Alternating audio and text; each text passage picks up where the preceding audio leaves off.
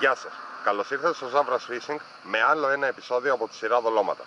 Σήμερα θα σας μιλήσω για το καλύτερο ευκαιριακό δόλωμα του heavy casting και όχι μόνο τη Ζαργάνα.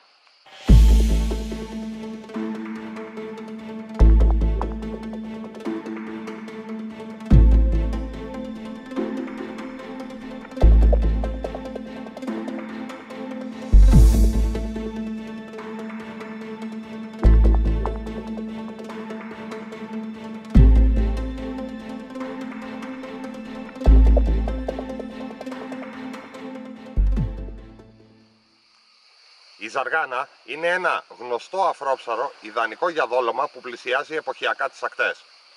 Εδώ και πολλά χρόνια χρησιμοποιείται από παράκτιους ψαράδες με στόχο μεγάλα μαγιάτικα, λίτσες και κυνηγούς, αφήνοντάς την ελεύθερη να κολυμπά στον αφρό. Επίσης, πολλοί ψαράδες τη δουλεύουν και από βάρκα στη σιρτή.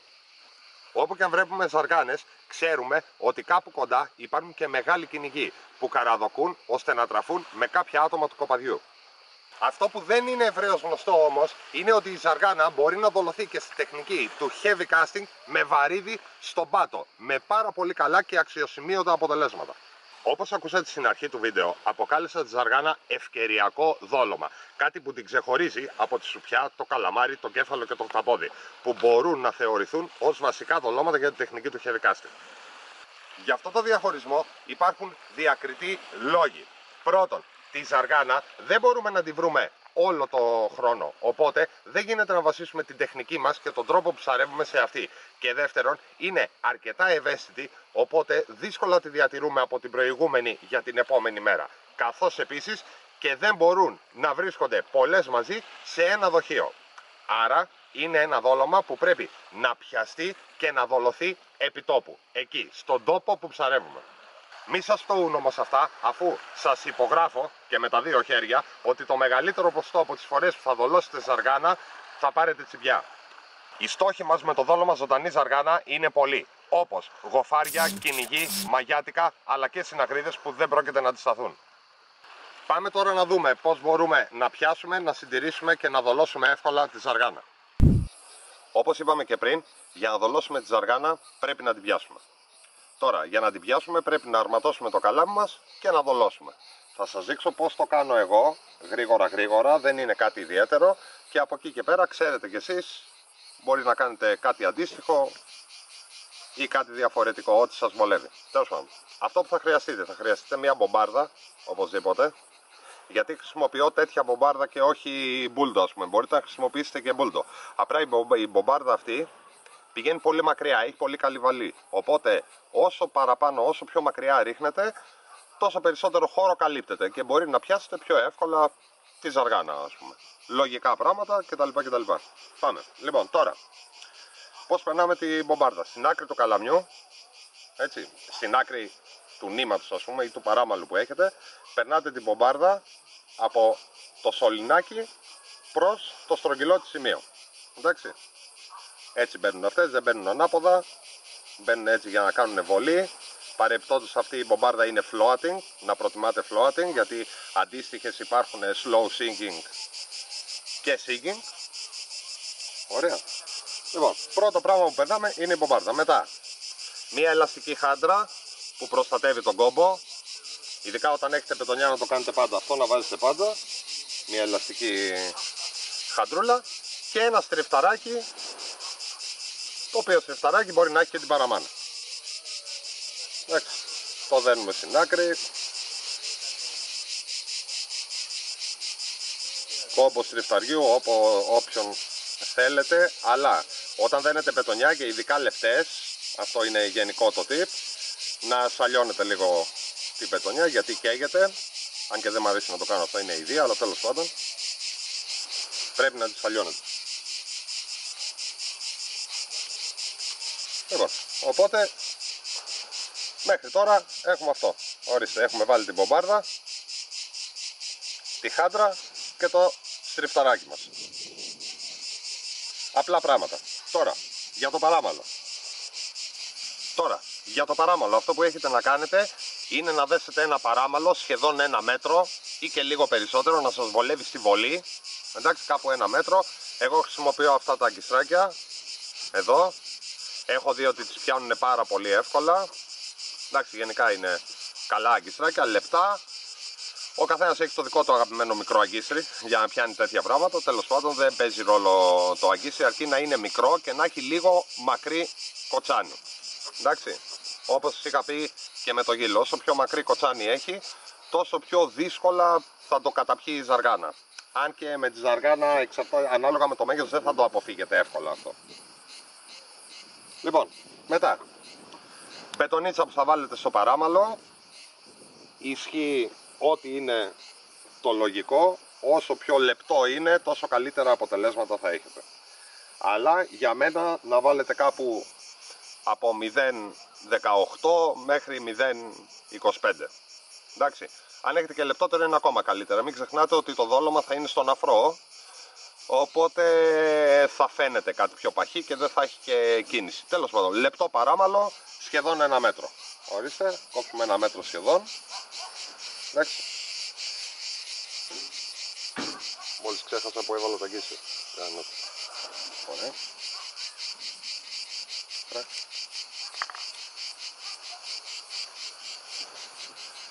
και θα δέσετε ένα μονάγκιστρο απλά πράγματα στην άκρη δένουμε ένα αγκίστρι. Απλά πράγματα όλα αυτά δεν θα έπρεπε να σας τα λέω. Όλοι ξέρετε πως θα το κάνετε αλλά για να είναι ολοκληρωμένο το βίντεο πρέπει να τα πω και αυτά για αυτούς που δεν ξέρουν. Ή που δεν έχουν υπόψη τους ακόμα. Ορίστε έτοιμο. Το αγκιστράκι στην άκρη και από την άλλη του άκρη τώρα, εδώ το δένουμε στο σιρτάρι.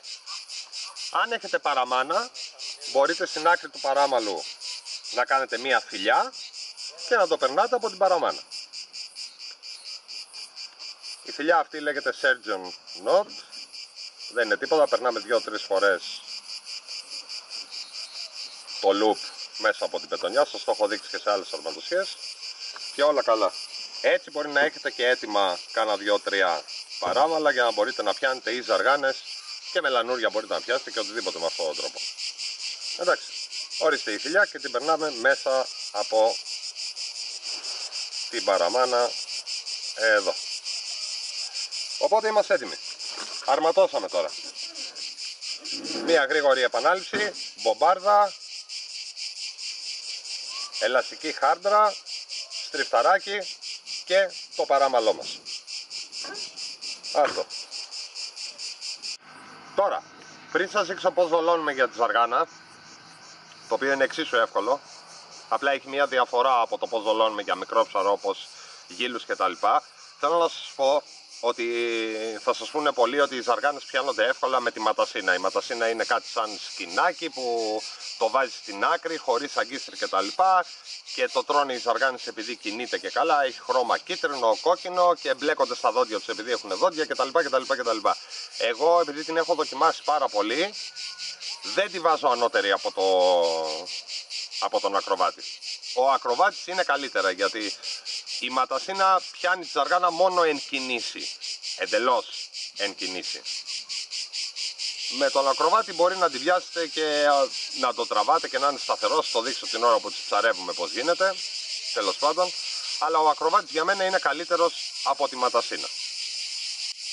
Λοιπόν τώρα, όταν δολώνουμε για τη ζαργάνα, είπαμε θα δολώσουμε ακροβάτη για άλλη μια φορά. Δολώνουμε κάπως διαφορετικά. Καταρχήν εγώ όποτε δολώνω ακροβάτη προτιμώ να έχω βελόνα. Εντάξει, γιατί με τα χέρια μας, όπως και αν έχει, όταν δολώνουμε σε τόσο μικρά αγκίσια, το χαλάμε το δόλωμα. Λοιπόν, θα το περνάτε στη βελόνα έτσι. Βλέπετε ότι δεν το έχω περάσει όλο, έχω αφήσει μία ουρίτσα. Εντάξει, θα σας δείξω γιατί. Δολώνοντας επάνω στο αγκίστρι, λοιπόν, εδώ, θα δείτε, θα το περάσουμε όλο και στην πετονιά να βάζετε μακρύ δόλωμα δεν είναι ότι χρειάζεται, είναι ότι η κίνηση είναι πιο όμορφη. Μέσα στο νερό, θα σας εξηγήσω γιατί. Η ζαργάνα είναι κυνηγιάρικο ζωντανό. Όριστε, δολώνουμε κατά αυτόν τον τρόπο. Εδώ, δηλαδή να κρέμεται μία ουρίτσα. Αυτή η ουρίτσα θα κάνει κίνηση στο νερό όπως το τραβάμε και θα τις δελεάζει πιο εύκολα. Επίσης βάζουμε πολύ δόλωμα γιατί πιστέψτε με όταν ψαρεύετε ζαργάνα θα έχετε πολλές άστοχες τσιμπιές. Δεν είναι πολύ εύκολο να πιαστεί. Είναι αν είναι από ένα μέγεθος και πάνω αλλά δεν είναι απαραίτητο. Οπότε δολώνουμε με αυτόν τον τρόπο. Θα φαίνεται. Να Εδώ. Μια χαρά. Οπότε τώρα είμαστε έτοιμοι να πάμε να ρίξουμε, να δούμε πώς πιάνονται οι ζαργάνες. Θα σας λέω εγώ παράλληλα εκεί τι πρέπει να κάνετε και τι όχι. Έτοιμοι είμαστε, πάμε να πιάσουμε ζαργάνες. Όπως είπαμε θα προτιμάτε το πίσω μέρος, πάλι, του ακροβάτη. Σε ό,τι δόλωμα σας λέω, σας λέω να προτιμάτε το πίσω μέρος. Είναι πιο λεπτό και αυτά τα ψάρια πιάνονται πιο εύκολα έτσι. Τι να κάνουμε τώρα; Όταν είναι να ψαρεύετε ζαργάνε, γι' αυτό της είπα και στην αρχή ευκαιριακό δόλωμα, η ζαργάνα δεν αντέχει πάρα πολύ, είπαμε. Οπότε, όταν δείτε ότι έχετε ζαργάνες, να έχετε πάντα ένα ψυγείο δίπλα, έτσι πρέπει να είναι μακρόστενο, γεμάτο με νερό. Για να μπορέσετε να τις διατηρήσετε, πρέπει κατευθείαν όταν τις βγάλετε να τις βάλετε μέσα. Με προσοχή. Πάμε να δούμε.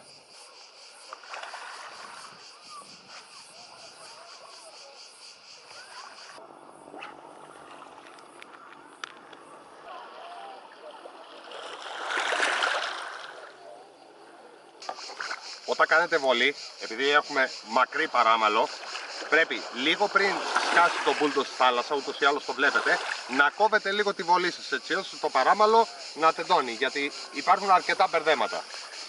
Δηλαδή, κάπως έτσι. Ρίχνει και πριν σκάσει κάτω, τάκ, κόβουμε λίγο τη βολή, οπότε το, το παράμαλο τεντώνει και δεν πέφτει επάνω στο μπούλτο, όπως γίνεται με τη βολή. Η ταχύτητα που πρέπει να γυρνάτε ποικίλει. Θα το βρείτε. Εντάξει, έχει να κάνει και με το μήκο του παράμαλου κτλ. κτλ. Δηλαδή, θα πηγαίνετε αργά, λίγο πιο γρήγορα. Μπορείτε να κάνετε γρήγορη ανάκτηση και μετά να σταματάτε. Δεν είναι τίποτα δύσκολο. Άμα έχεις αργάνες, θα τις πιάσετε εύκολα. Όταν είναι η εποχή της ζαργάνας, να έχετε πάντα έτοιμο ένα καλαμάκι γιατί όταν τις δείτε να πηδάνε ή και τα λοιπά δεν θα μπορεί να μην είναι για πολύ στον τόπο. Εντάξει, να πιάσετε μία-δύο να μπορέσετε να δολώσετε. Είναι ένα από τα καλύτερα ευκαιριακά δολώματα.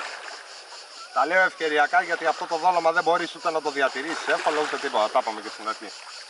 Αυτό πρέπει να το πιάσεις και να το δολώσεις επί τόπου εκεί που είσαι.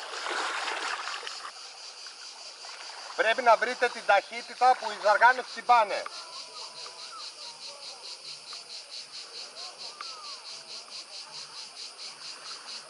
Να, η πρώτη τσιμπιά. Όχι.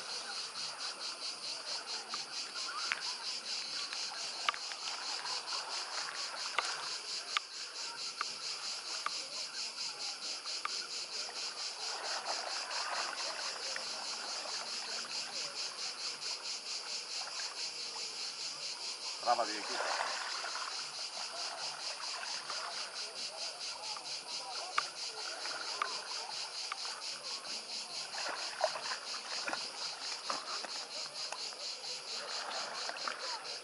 Προσπαθήστε όσο γίνεται να μην την αφήνετε να χτυπάει κάτω. Αυτή εδώ τώρα... Ω, ορίστε, κόβηκε. Αυτή εδώ τώρα η ζαργάνα θεωρείται λίγο μεγάλη για δόλωμα. Εντάξει, λίγο μικρότερες θέλετε, αλλά θα την κρατήσουμε για να μπορέσουμε να δείξουμε πώς ακριβώς γίνεται. Δεν θα πιάσω πολλές, θα πιάσω τρεις που μου χρειάζεται για να δείξω. Καλά. Ναι.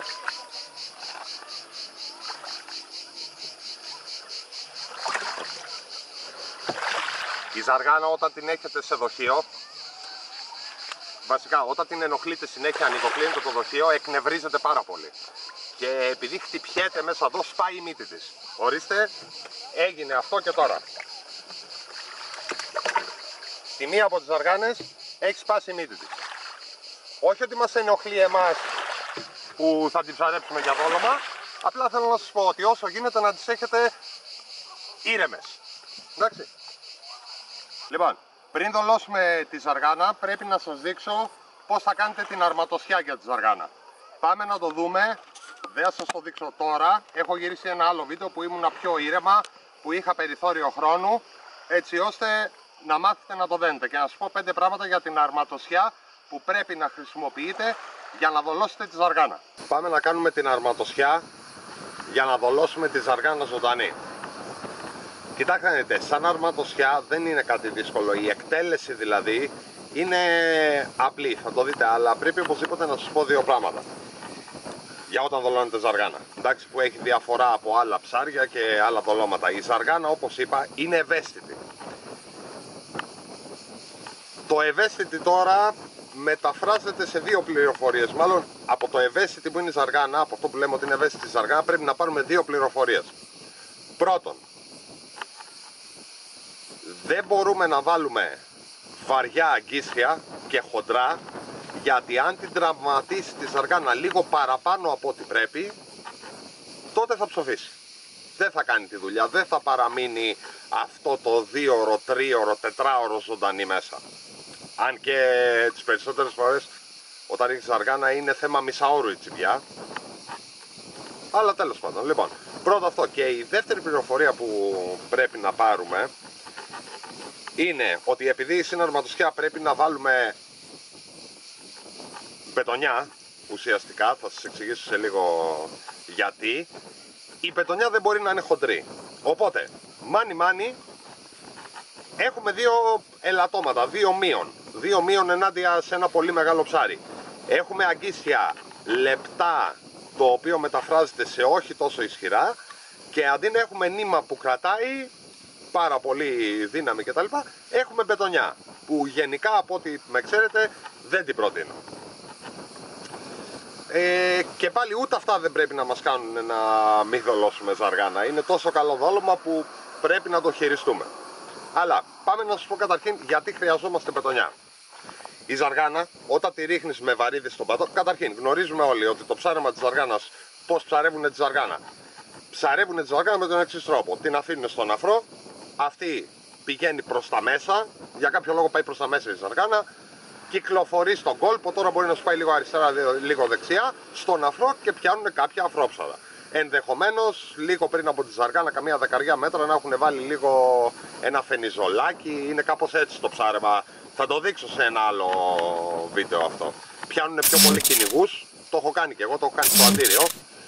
Ε, πιάνουν πιο πολύ κυνηγούς, λίτσες, ίσως και κάνα μαγιάτικο, αυτό εντάξει, όπως, όπως τα είπαμε για τη ζαργάνα.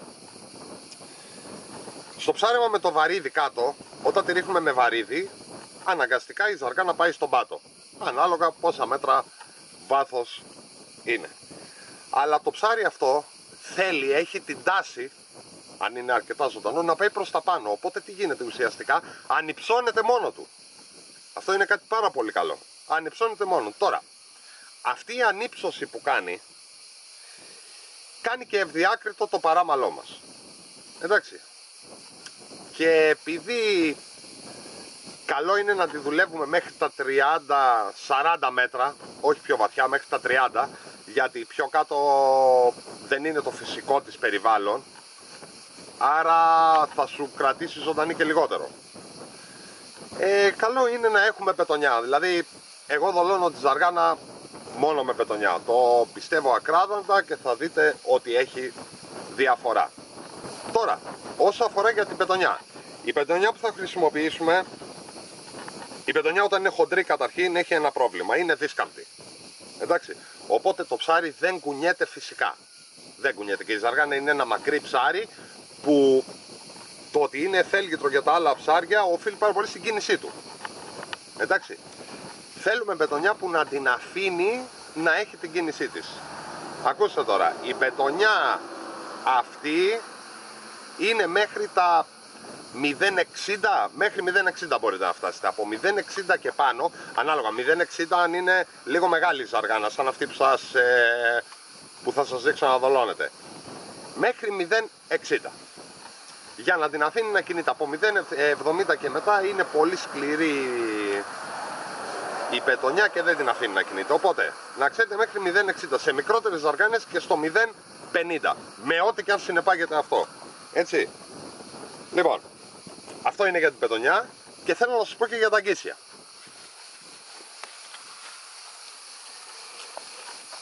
Αγκίσια, υπάρχουν ε, αρκετά αγκίσια αυτή τη στιγμή στην αγορά που σας λένε ότι είναι από κάρμπον, ότι έχουν κράμα κάρμπον κτλ. κτλ. Αυτό που ωφελεί. Εντάξει, ωφελεί στο ότι όλο το αγκίσι είναι πιο ελαφρύ. Να μου πεις λεπτομέρεια, όχι δεν είναι λεπτομέρεια. Η ζαργάνα, με τη ζαργάνα πρέπει να προσέχουμε τις λεπτομέρειες. Θα πάρετε αγκίστρι τέτοιο, θα πάρετε αγκίστρι κάρμπον, πολύ εχμηρό, λεπτό και να είναι ελαφρύ. Πολύ ελαφρύ. Εγώ έχω επιλέξει κάποια αγκίσια, έχω δοκιμάσει πολλά, έχω δοκιμάσει καμακάτσου, έχω δοκιμάσει διάφορες μάρκες. Έχω επιλέξει αυτά. Δεν ξέρω αν φαίνονται καλά, χαγιαμπούσα. Εντάξει, τα χρησιμοποιούν για τους πλάνους, τους slow ας πούμε. Αυτά τα αγκίσια την κάνουν τη δουλειά. Είναι πάρα πολύ αιχμηρά και ελαφριά. Δεν επηρεάζουν πολύ τη ζαργάνα. Εντάξει, λοιπόν, σας είπα τι θα χρειαστούμε. Πάμε τώρα να κάνουμε την αρματοσιά. Έχει λίγο αέρα τώρα που το γυρνάω το βίντεο, ελπίζω να ακούγομαι καλά. Θα μιλάω λίγο πιο δυνατά. Αν υπάρχει θόρυβος να τον υπερνικήσω. Λοιπόν, όπως σας είπα και πριν, η ζαργάνα όταν τη ρίξουμε στον πάτο πάει ψηλά. Εγώ όταν δολώνω ζαργάνα θέλω να της δώσω περιθώριο να κινείται. Η ζαργάνα δεν σταματάει ποτέ να κινείται. Το περιθώριο που λέω που θέλω να της δώσω να κινείται μεταφράζεται σε μεγάλο παράμαλο.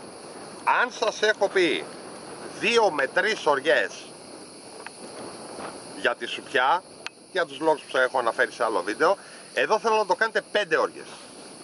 Εντάξει, θέλω να είναι το παράμαλο 7, 6 μέτρα, 8. Θέλω να έχει περιθώριο η ζαργάνα. Εντάξει. Βασικό, σημαντικό αυτό. Μην βάλετε κοντό παράμαλο όταν τη δολώνετε στο πάτο. Μεγάλο, αόρατο παράμαλο. Λοιπόν, οπότε πάμε. Μία, δύο, τρεις, τέσσερις, πέντε, έξι. Λοιπόν, 6 οριές, μπορείτε και παραπάνω. Έτσι, 6 οριές. Πάμε, τώρα. Σας είπα στην αρχή τώρα, σε αυτό το κομμάτι, ότι η αρματοσιά είναι απλή. Ναι, είναι απλή η αρματοσιά. Τι κάνουμε αρχικά; Α, και κάτι άλλο. Η αρματοσιά της ζαργάνας, όπως η ζαργάνα είναι ευκαιριακό δόλωμα, ξέρεις, πρέπει να το πιάσουμε και να το ρίξουμε επί τόπου, και η αρματοσιά της ζαργάνας πρέπει να φτιαχτεί επί τόπου. Εντάξει. Θα σας πω σε λίγο γιατί. Καταρχήν τι κάνουμε. Δένουμε ένα αγκίστρι στη μία άκρη της πετονιάς. Εντάξει, κανονικά, όπως πρέπει.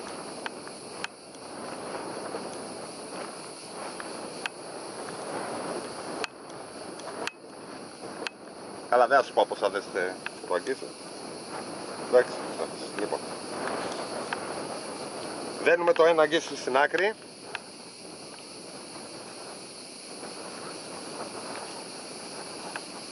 Έτοιμο. Και τώρα, για να δέσουμε το δεύτερο αγκίστρι, πρέπει να το δέσουμε καταρχήν σταθερό, δεν, δεν συζητάμε καν για σειρώμενο, μόνο σταθερό και πρέπει να μετρήσουμε της ζαργάνα. Πριν φτιάξετε την αρματοσιά πρέπει να έχετε το δόλωμά σας, να βάλετε τα γκίσια από πάνω, να μετρήσετε να δείτε να πάει στα σημεία που πρέπει να δολωθεί, αυτό θα σας το πω σε λίγο ούτως ή άλλως, και να δέσετε έτσι την αρματοσιά. Θέλει μέτρημα η ζαργάνα. Αφού τη μετρήσουμε για να την πάμε στο σημείο που πρέπει, δένουμε και το δεύτερο αγκίστρι στην απόσταση τη σωστή για να τη δολώσουμε. Ωραία, ας πούμε ότι μετράμε τη ζαργάνα, τώρα δείχνω την κατασκευή, δεν έχω ζαργάνα μπροστά μου. Ας πούμε ότι μετράμε τη ζαργάνα και θα πούμε να τη βάλουμε εδώ, σε μια τέτοια απόσταση. δένουμε και το άλλο αγκίστρι, απλό πένελ, το ένα πίσω από το άλλο. Σταθερό πάντα είπαμε έτσι. Ορίστε, πάει και αυτό. Γρήγορα, γρήγορα. Είναι και τόσο μακρύ το παράμαλο που με δυσκολεύει πάρα πολύ να το δέσω. Εντάξει. Μία, τσακ, έγινε. Λοιπόν, ορίστε. Να τη αρματοσιά μας. Δύο αγκίσια, κάρμπον όπως σας είπα, ελαφριά στη σειρά. Λοιπόν, τώρα θα σας δώσω ένα tip. Αυτά τα αγκίσια από ό,τι είδατε έχουν παλέτα. Δηλαδή, δεν έχουν πίσω κρίκο για να περνάει από μέσα η πετονιά. Έχουν παλέτα. Δεν έχουν πρόβλημα, η παλέτα τους είναι αρκετά μεγάλη, αλλά από ό,τι έχετε δει και στους πλάνους, τα δένουν, βάζουν θερμοσυστελόμενο, δηλαδή τα ασφαλίζουν κάπως. Γιατί, γιατί η πετονιά είναι χοντρή, δεν σφίγγει πάρα πολύ, σφίγγει πολύ καλά, δηλαδή δεν νομίζω να σας λυθεί κόπος, αλλά για να αποκλείσετε και αυτό το, το, αυτή την πιθανότητα, θέλω να κάνετε κάτι. Όταν φτιάξετε την αρματοσιά και είναι έτοιμη, εγώ αυτό το έκανα πάρα μα πάρα πολύ στο casting, όταν έκανα casting, όταν ε, δέναμε μικρές διαμέτρους. Περιέργως αυτό ισχύει για τις πολύ μικρές διαμέτρους και για τις πολύ μεγάλες μπετονιάς. Εντάξει.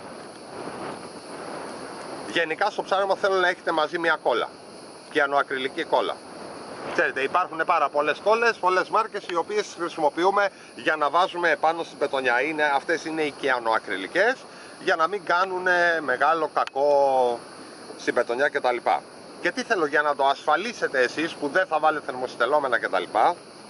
Θέλω εδώ που είναι ο κόμπος, εντάξει, να πάτε και να βάλετε τσακ μία σταγονίτσα μόνο. Ελπίζω να φαίνεται, κάτσε να το βάλω πιο μακριά. Ελπίζω να φαίνεται. Μία σταγονίτσα. Η κόλλα θα δείτε ότι θα μπει μέσα στον κόμπο και θα το κάνει μπετόν αρμέ. Τελείωσε. Δεν ξερα... Δηλαδή δεν έχετε κανένα φόβο.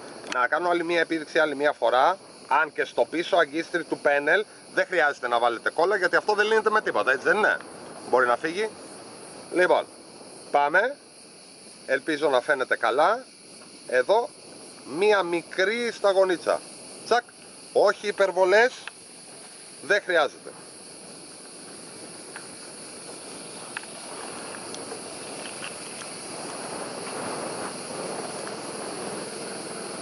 Ορίστε, εδώ.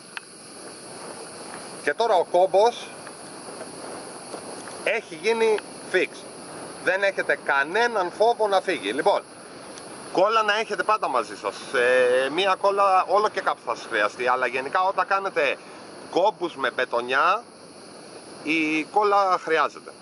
Εντάξει, λοιπόν, αυτή είναι η αρματοσιά. Δύο συνεχόμενα στη σειρά, είπαμε, πολύ μακριά. Κάντε την 8, 10 οργές και από πετονιά μέχρι 0,60 παραπάνω για μένα μειώνει το χρόνο ζωής της αργάνας και μειώνει και μάλλον χαλάει τον τρόπο εμφάνισης, τον τρόπο παρουσίασης στο ψάρι. Λοιπόν, πάμε τώρα να τη δολώσουμε επάνω στην αρματουσιά και να τη ρίξουμε. Αφού είδατε πώς να φτιάξετε την αρματουσιά και σας είπα και κάποια πράγματα, Τώρα θα σας δείξω πώς να δολώσει η ζαργάνα. Καταρχήν, θέλει τεράστια προσοχή. Η ζαργάνα είναι ευαίσθητη. Πάρα πολύ. Αν την πιάσεις με δύναμη, χτυπιέται πολύ στα χέρια σου και ιστορίες, θα σου ψοφήσει, δεν θα κάνει τη δουλειά που είναι να κάνει. Οπότε, καλό είναι να τη δολώνετε με προσοχή μέσα στο ψυγείο. Όταν πάτε να την πάρετε, να ξέρετε ότι μπορεί να πηδήξει απ' έξω κτλ. Έξτρα ταλαιπωρία. Θέλει πολύ προσοχή. Είπαμε για τη ζαργάνα, αν καταφέρετε και τη ρίξετε μέσα ζωντανή και όπως πρέπει, θα πάρετε ψάρι. Και συγκεκριμένα, μάλλον, οι περισσότερες πιθανότητες είναι να πάρετε μαγιάτικο. Λοιπόν, οπότε πάμε να τη δολώσουμε. Σας είπα ότι στη ζαργάνα παίρνουμε μέτρα. Εντάξει, παίρνουμε μέτρα. Πώς τα παίρνουμε, ένα αγκίστρι να πάει πίσω στην ουρά και ένα λίγο πιο μπροστά από τη μέση. Δεν ισχύει το ίδιο όπως άλλα ψάρια που βάζουμε ένα πίσω και ένα στο κεφάλι ένα πίσω και ένα λίγο πιο μπροστά από τη μέση. Να ξέρετε ότι τη ζαργάνα τις περισσότερες φορές τα ψάρια την τρώνε από τη μέση, ειδικά όταν είναι μεγάλα. Εκεί θέλετε αγκίστρι, όχι στο κεφάλι. Αν βάλετε στο κεφάλι και πίσω, θα σας την κόβουν στο κέντρο, ειδικά οι συναγρίδες, θα σας την κόβουν στο κέντρο και δεν θα πιάνετε το ψάρι. Ένα συνουρά, ένα λίγο πιο μπροστά από το κέντρο. Ούτως ή άλλως η ζαργάνα δεν είναι για μικρά ψάρια, είναι για να το ρίξετε και να πιάσετε ψάρι της προκοπής, ας πούμε. Οπότε, πάμε να τη δολώσουμε. Το πρώτο αγκίστρι, το πίσω αγκίστρι, εντάξει, το βάζετε έχει ένα, η ζαργάνα, μισό λεπτό να την πιάσω σιγά σιγά. Εδώ πίσω έχει ένα πτερίγιο. Να το. Εδώ. Εντάξει. Το πρώτο αγκίστρι το βάζετε ακριβώς σε αυτή την ευθεία του πτερυγίου. Μπορείτε να το βάλετε και από πάνω και από κάτω. Εγώ προσωπικά προτιμώ να το βάζω από την κάτω μεριά. Πάντα το πίσω αγκίστρι προτιμώ να το βάζω από κάτω. Λοιπόν θα σου πω και γιατί. Οπότε, εδώ είπαμε σιγά σιγά τη ζαργά να την έχετε ήρεμη. Το περνάτε ίσα ίσα, έλα κοντά να το δείξεις, εδώ, με προσοχή στο πτερίγιο. Ορίστε. Εδώ πέρα. Λίγο πιο μπροστά, όχι πιο μπροστά είναι το στομάχι της. Εδώ, ακριβώς στο πτερίγιο. Πάει το πρώτο. Περάσαμε το πρώτο. Αγγίστε τώρα. Όπως σας έχω πει, όποτε και να δολώνετε ψάρια, το ένα αγγίση θα κοιτάει από τη μία, το άλλο θα κοιτάει από την άλλη. Πάμε τώρα. Το δεύτερο και το μπροστά αγκίστρι και το μπροστά θα μπει στην πάνω μεριά όχι μπροστά μπροστά στο κεφάλι όπως είπαμε, δεν πρέπει να το κάνετε αυτό, αλλά κάπου στο κέντρο. Εδώ. Επιδερμικά, λίγο. Περνάμε και το έχουμε χαλαρό. Ορίστε. Τελείωσε. Αυτή είναι η δολοσιά της αργάνας. Εντάξει. Ένα αγκίστρι, ένα αγκίστρι κοιτάει από τη μία, ένα αγκίστρι κοιτάει από την άλλη. Από εδώ. Επιδερμικά τα αγκίστρια. Εντάξει. Και το αγκίστρι δεν πρέπει να είναι μπροστά στο κεφάλι της. Πρέπει να είναι κάπου στο κέντρο. Δηλαδή, για να σας το δείξω τώρα την ταλαιπωρώ βέβαια και δεν κάνει. Ένα ψάρι που δεν μπορεί να την καταπιεί όλη θα έρθει να τη φάει από εδώ, από το κέντρο της. Οπότε εσείς θέλετε να εκμεταλλευτείτε ακριβώς αυτό. Το κέντρο της. Με το που θα δολώσετε τη ζαργάλα και μέχρι να τη ρίξετε, θα τη ρίξετε μέσα στο νερό μπροστά με ηρεμία έτσι ώστε να πάρει τις ανάσες. Ορίστε η δολοσιά, νάτι, έτοιμη είναι. Κανονικά δεν έπρεπε να κάνω τόση ώρα, την ταλαιπωρώ τώρα, αλλά πρέπει να σου το δείξω. Αφήστε τη μέσα στο νερό, εκεί μπροστά. Είναι μια χαρά.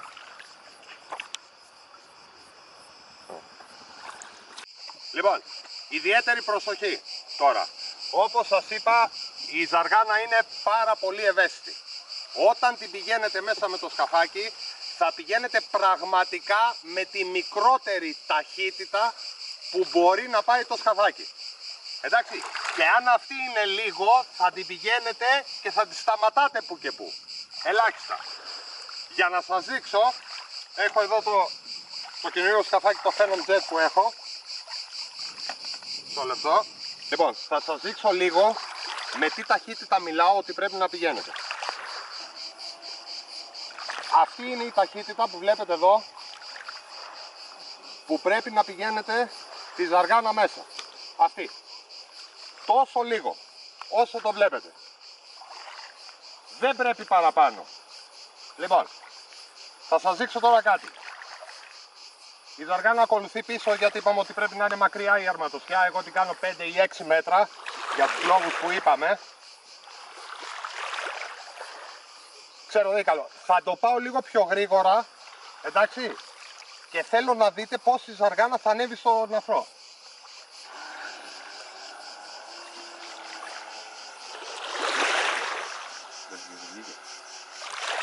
Δεν πρέπει να το πηγαίνετε γρήγορα, η ζαργάνα είναι δολωμένη από πίσω. Αν πάει γρήγορα θα το τσακίσετε το ψάρι και θα ψοφήσει.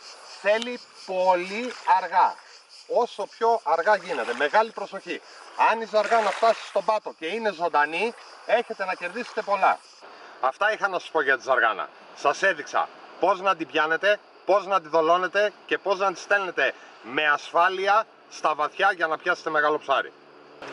Να είστε σίγουροι ότι αν τη δοκιμάσετε δεν θα χάσετε. Πρόκειται για ένα υπέροχο δόλωμα που θα σφέρει πολλές τσιπιές αλλά και ψάρια.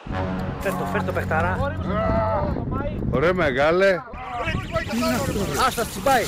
Τι τέρας είναι. Φύγε σου λέω, έχει τρελαθεί. Γεια σου ρε Χριστοφοράκλα. Πιάσω ρε, πιάσω ρε, πιάσω ρε.